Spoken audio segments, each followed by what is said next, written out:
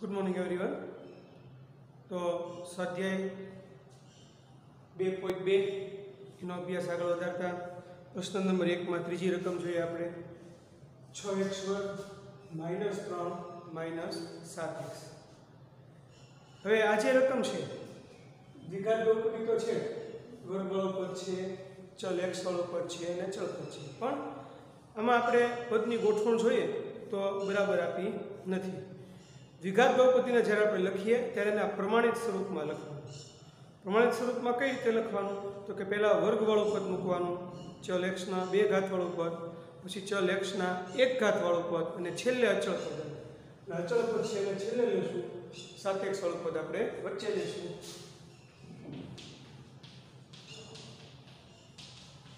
આ રીતે લખશું. સો એક્સ માઇનસ સાત એક્સ માઇનસ ત્રણ, બરાબર, ઝીરો. હવે આપણે અને એક્સ વર્ગ વત્તા બી એક્સ વત્તા સી સાથે સરખાવો. તો એ બરાબર છ બી બરાબર માઇનસ સાત અને સી બરાબર માઇનસ ત્રણ મળે છે. એ બરાબર છ બી બરાબર માઇનસ સાત અને સી બરાબર ત્રણ. હવે આપણે આના શૂન્ય ગણવાના છે અને શૂન્ય અને સગુણક વચ્ચેનો સંબંધ ચકાસવો છે. એટલે પહેલાં પહેલાં આપણે આના શૂન્ય ગણીએ. અને શૂન્ય મેળવવા માટે રકમના અવયવ પાડીએ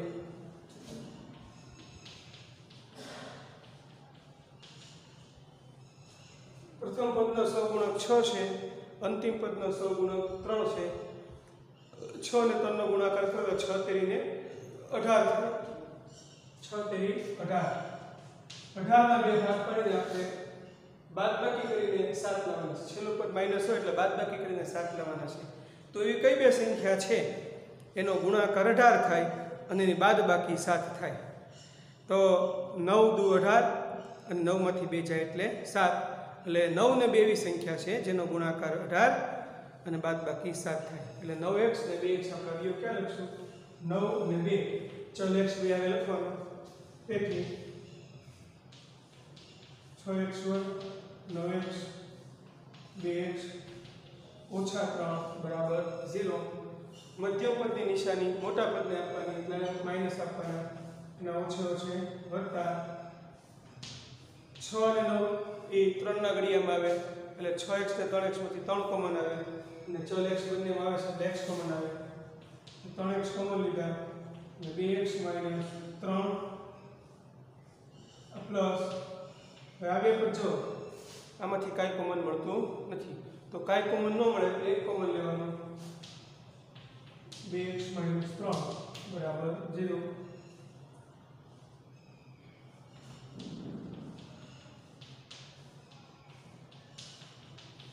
હવે આ જે બે કૌંસ મળ્યા બંને કૌંસને આપણે ઝીરો સાથે વારાફરતી સરખાવીએ એટલે બે એક્સ ઓછા ત્રણ બરાબર ઝીરો અથવા ત્રણ એક્સ વત્તા એક બરાબર ઝીરો તો એક્સ બરાબર શું થશે?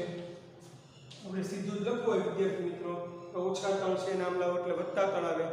જે રકમ આવે અંશમાં મૂકવાની અને આ જે બે હોય છેદમાં લેવાના. એ રીતે આમાં લખો. તો એક્સ બરાબર વત્તા એક આ બાજુ એટલે ઓછા એક અંશમાં લેવાના અને ત્રણ છેદમાં લેવાના. એટલે આપણને શૂન્ય મળ્યા. આલ્ફા બરાબર ત્રણ તૃતીયાંશ, બીટા બરાબર માઇનસ એક તૃતીયાંશ અથવા આલ્ફા બરાબર માઇનસ એક તૃતીયાંશ અને બીટા બરાબર ત્રણના છેદમાં બે. ગમે એક શૂન્યના આલ્ફા બીટા આપણે કહી શકીએ. તો આલ્ફા બરાબર માઇનસ એકના છેદમાં ત્રણ અને બીટા બરાબર ત્રણના છેદમાં બે. ટૂંકમાં આપણે શૂન્ય ગણી નાખ્યા. હવે આપણે આના શૂન્ય અને સગુણો વચ્ચેનો સંબંધ ચકાસીએ.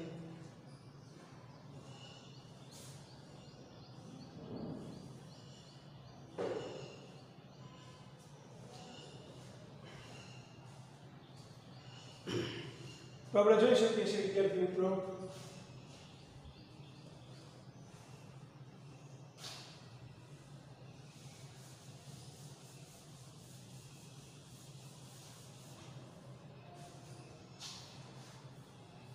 કે શૂન્યનો સરવાળો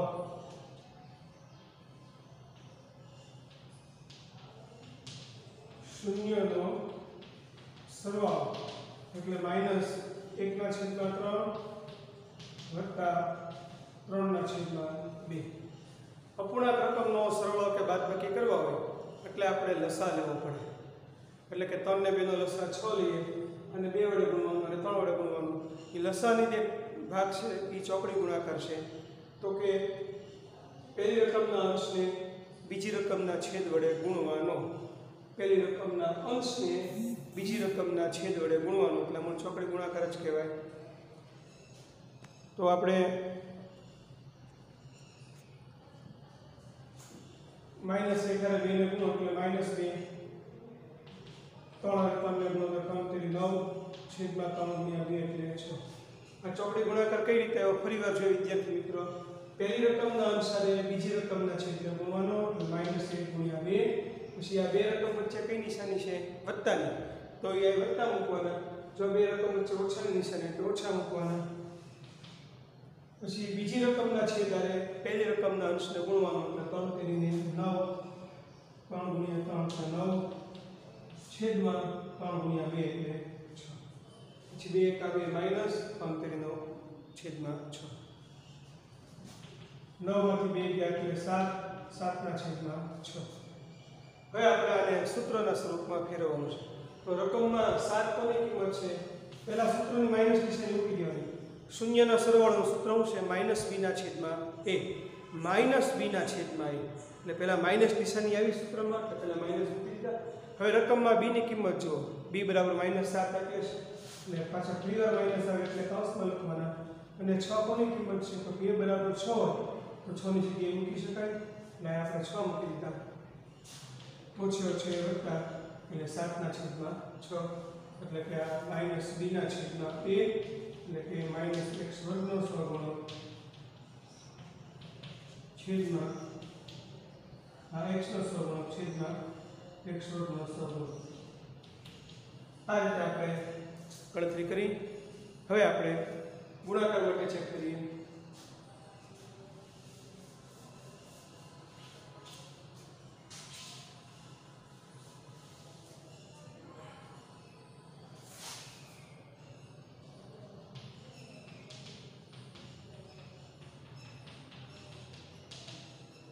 શૂન્યનો ગુણાકાર એને કહેવાય આલ્ફા બીટા બરાબર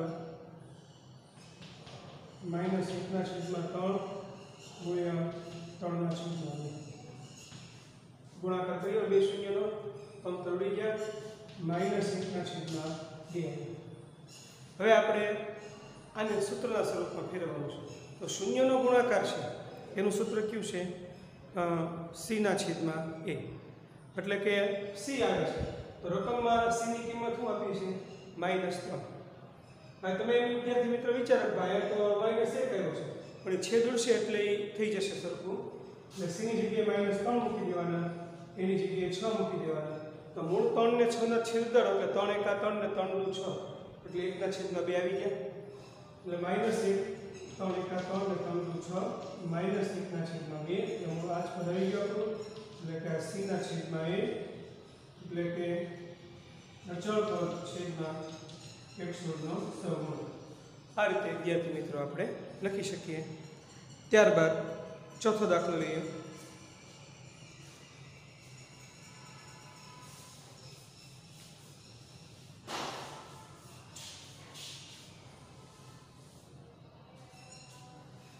ચાર યુ વર્ગ પ્લસ આઠ યુ.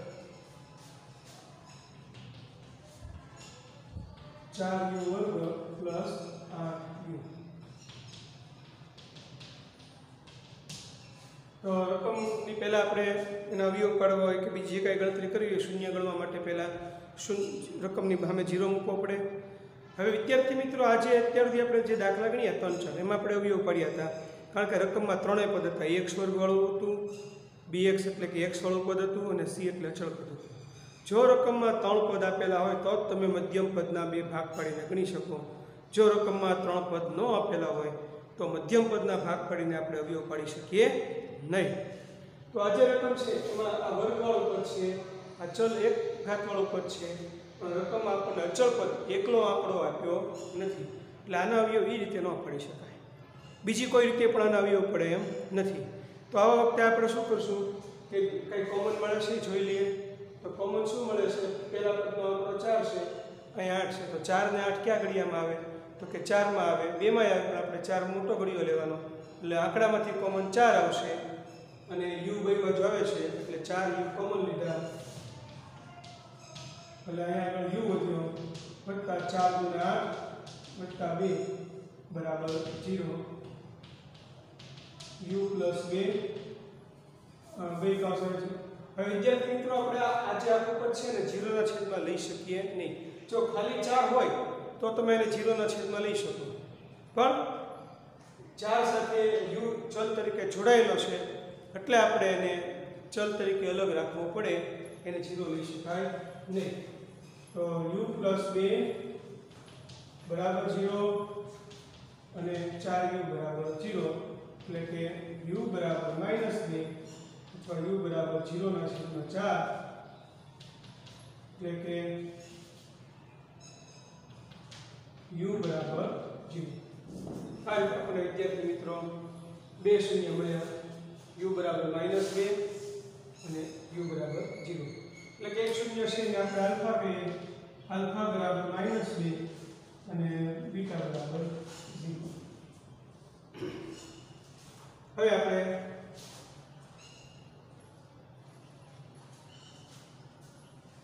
શૂન્યનો સરવાળો ચેક કરીએ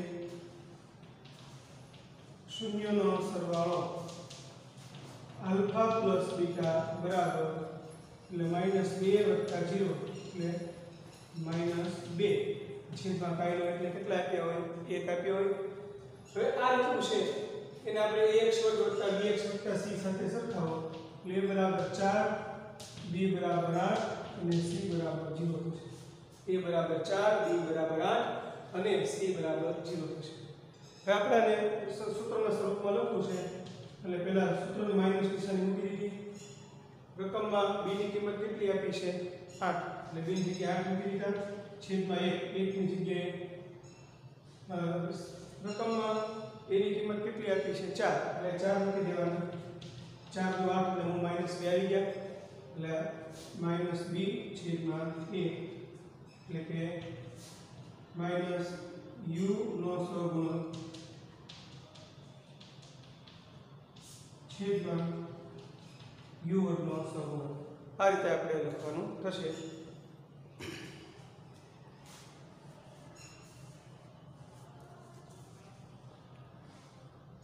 ત્યારબાદ પછીનો દાખલો લઈએ. શૂન્યનો ગુણાકાર માટે ચેક કરીએ. શૂન્યનો ગુણાકાર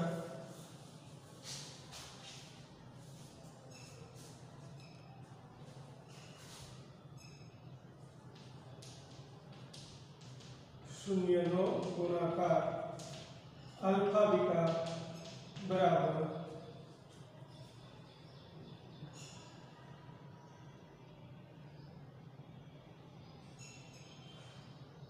ચાર પહેલું શૂન્ય લીધું આપણે માઇનસ બે, એને ગુણ્યા જીરો તો માઇનસ બે ગુણ્યા જીરો એટલે જીરો થઈ ગયા. જીરોનો છેદમાં જીરો એટલે કે સી અને છેદમાં એ એટલે ચાર મૂકો. એટલે માઇનસ બે ગુણ્યા બે જીરો કર્યો માઇનસ બે ગુણ્યા જીરો કર્યો એટલે જીરો આવ્યો. જીરોના છેદમાં આપણે કોઈ પણ રકમ મૂકી શકીએ. એક મૂકી શકો, બે મૂકી શકો, ચાર મૂકો, ગમે રકમ મૂકો. જવાબ જીરો જ આવે છે. એટલે આપણે આગળ ચાર છે, એટલે જીરોના છેદમાં ચાર લખી શકીએ. અને 0 એટલે સી, અને ચાર એટલે એ અચળ પર છેદમાં યુ વર્ગનો સહગુણક આ રીતે આપણે દાખલો પૂરો કર્યો. ત્યારબાદ છઠ્ઠી રકમ, પાંચમી રકમ લઈએ, ટી વર્ગ માઇનસ પંદર.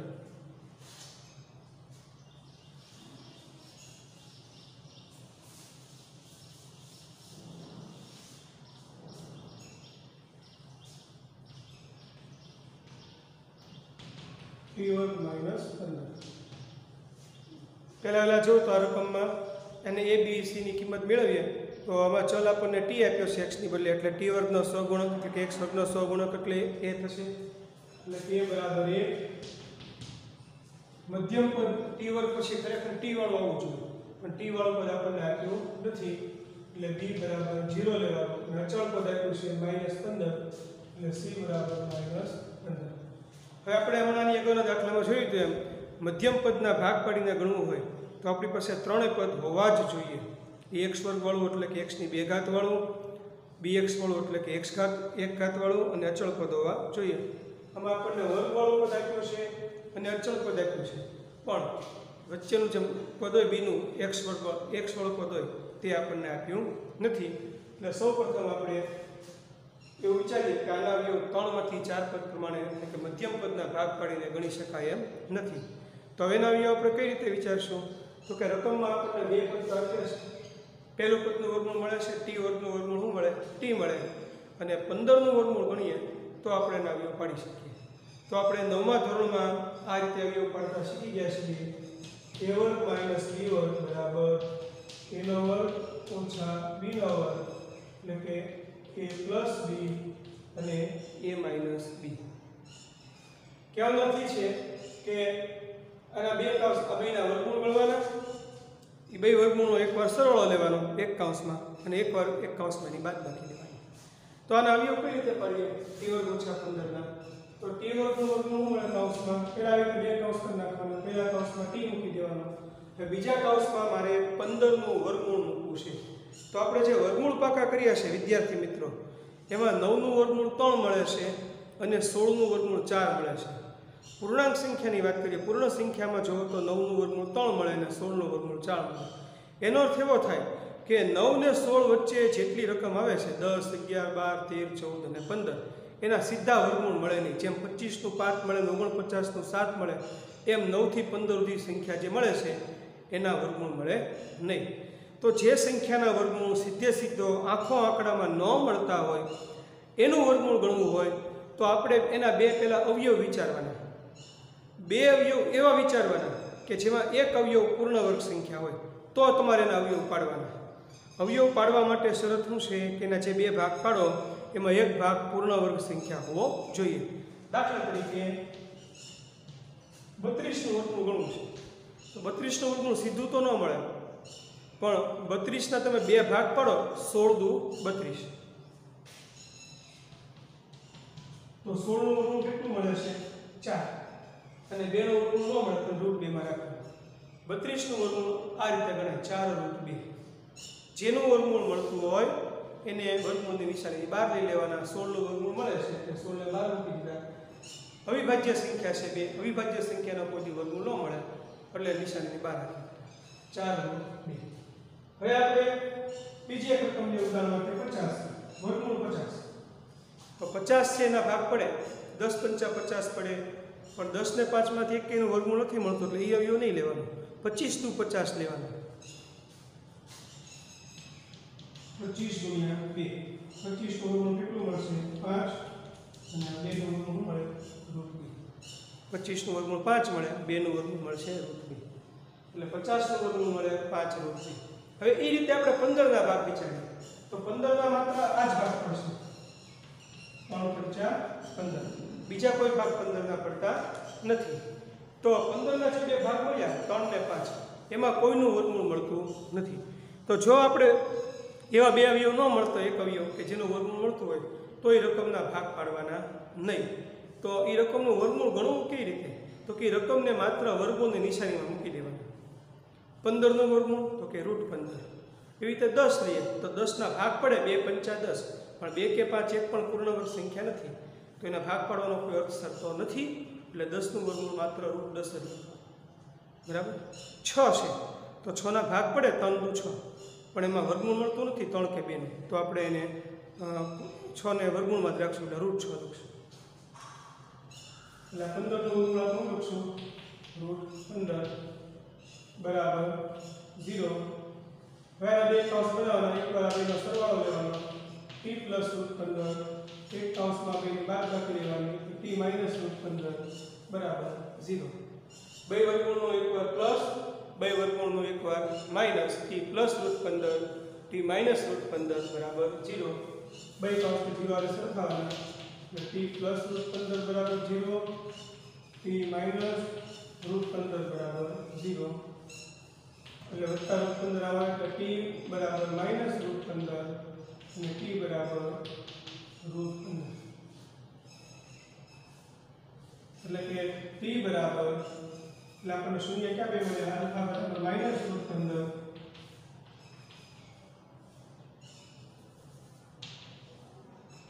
અને બીટા બરાબર માઇનસ, બીટા બરાબર રૂટ પંદર. રૂટની નિશાની વિદ્યાર્થી મિત્રો વર્ગમૂળની અંદર આ નહીં લખવાનું, આ ખોટી રીત છે. આ રીતે લખવાનું. રૂટની નિશાનીને વર્ગમૂળાની નિશાની વર્ગમૂળવાળી નિશાની રૂટ સાથે હોય, માઇનસમાંથી બહાર રાખવાનું. હવે શૂન્યનો સરવાળો ચેક કરીએ. શૂન્યનો સરવાળો આલ્ફા પ્લસ બીટા બરાબર. પહેલું શૂન્ય માઇનસ રૂટ પંદર વત્તા બીજું શૂન્ય પ્લસ રૂટ પંદર બે શૂન્યનો સરવાળો લઈએ. તો માઇનસ રૂટ પંદર ને પ્લસ રૂટ પંદર ઉડી જાય. બે રકમ ઉડે ક્યારે વિદ્યાર્થી મિત્રો? સરળા બાદ બાકીમાં. તો કે બેની નિશાની અલગ અલગ હોય બેના ચલ ને સૌગુણક સરખા હોય, આંકડા સરખા સરખા હોય તો ઉડી જાય. તો પ્લસ રૂટ પંદર ને માઇનસ રૂટ પંદર ઉડી જાય. જવાબ કેટલો મળ્યો? આપણને ઝીરો મળ્યો.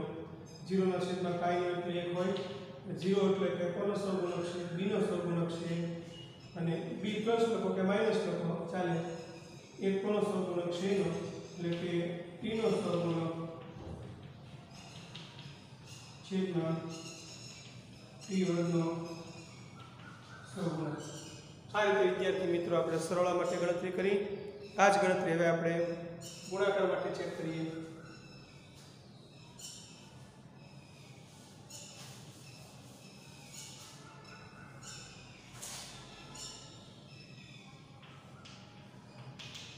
શૂન્યનો ગુણાકાર આલ્ફા બીટા બરાબર. પહેલું શૂન્ય માઇનસ રૂટ પંદર, બીજું શૂન્ય પ્લસ રૂટ પંદર.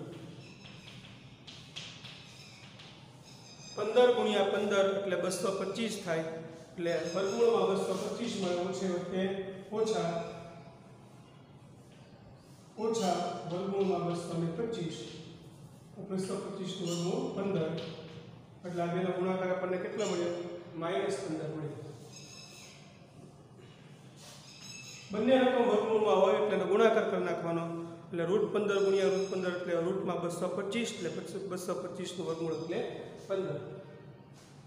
અથવા તો સીધું તમે લખી શકો, બે રકમ સરખી હોય તો ખાલી વર્ગમૂળની નિશાની દૂર કરવાની. આ માઇનસ પંદર એટલે સીનો સો ગુણો, છેદમાં એક એટલે એનો સો ગુણો. એટલે કે અચળ પર છેદના પી વર્ગનો સહગુણક.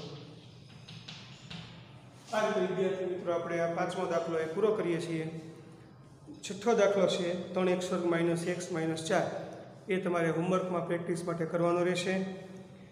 પહેલાં આંકડામાં ત્રણ છે, છેલ્લા આંકડામાં ચાર છે, એટલે ત્રણ ચોકોને બાર. બારના ભાગ પડીને એક લાવવાના છે, એટલે ચારને ત્રણ તમારા અવયવ રહેશે. આવતા પીરિયડથી આપણે પ્રશ્ન નંબર બે શરૂ કરીશું. Thank you very much